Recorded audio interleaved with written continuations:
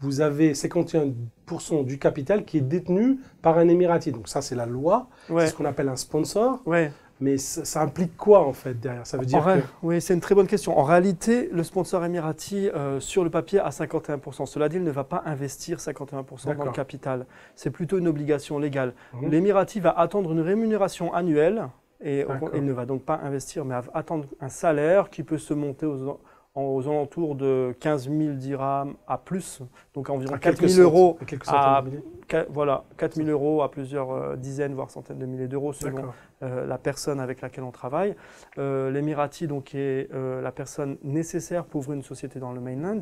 Il faut savoir que nos contacts émiratis sont des personnes qui aussi nous demandent de garantir le sérieux euh, des, des entreprises qu'on leur apporte Mhm. parce qu'ils ont quand même une responsabilité à 51%, donc majoritaire sur la société. D'accord. C'est-à-dire qu'en cas de, on va dire, enfin, pas en cas de pépin, mais en cas de souci majeur ou de problème, ils portent, ils ont une responsabilité juridique parce que les 51%. Exactement. D'accord, donc c'est un risque. Donc c'est- Voilà, en signant, ils engagent leur responsabilité avec tout ce que cela euh, indique, euh, donc euh, pour le meilleur et pour le pire.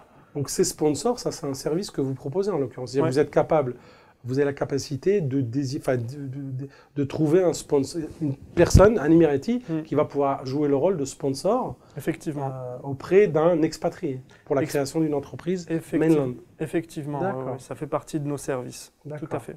Et donc, ce que vous disiez, ce qui est intéressant, c'est que de l'autre côté, vous avez les sponsors qui vous demandent aussi certaines garanties par rapport à vos clients, c'est-à-dire faut Ouais. qu'ils soient fiables, etc. Oui, tout à fait. Oui, parce qu'il y a Alors, un risque en fait. il y a un risque. Donc, dans le cadre de, de la mise en relation avec un sponsor, on va organiser un rendez-vous euh, préalable pour s'assurer que le contact passe bien entre euh, les deux parties, euh, ce qui est nécessaire, et aussi qu'il y a un accord au niveau légal.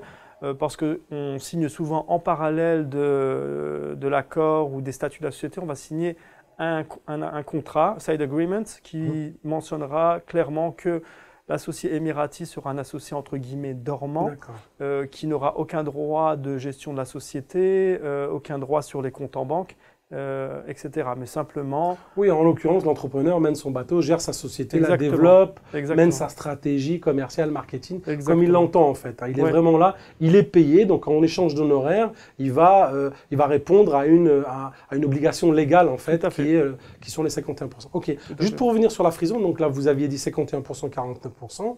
Euh, par contre, pour la frison, c'est pas le cas, on détient 100% du capital. 100% du capital. D'accord, Ouais, ouais. comme pour la société offshore. Donc il y a que.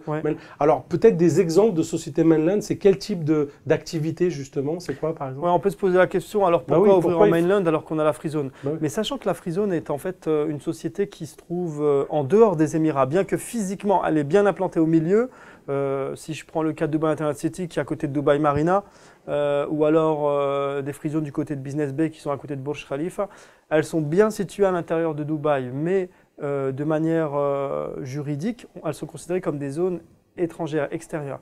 Donc, si, euh, si on veut, euh, par exemple, ouvrir un magasin à Dubai Mall ou euh, sur le bord de la plage à Jumeirah Beach Residences, dans ce cas-là, il faudra forcément ouvrir une société dans Dubai Mainland, donc une LLC ou une licence de professionnel, à cause de la situation géographique. C'est un des exemples. On peut avoir d'autres cas dans, dans le cas de sociétés qui font de l'import-export ou de la distribution de produits.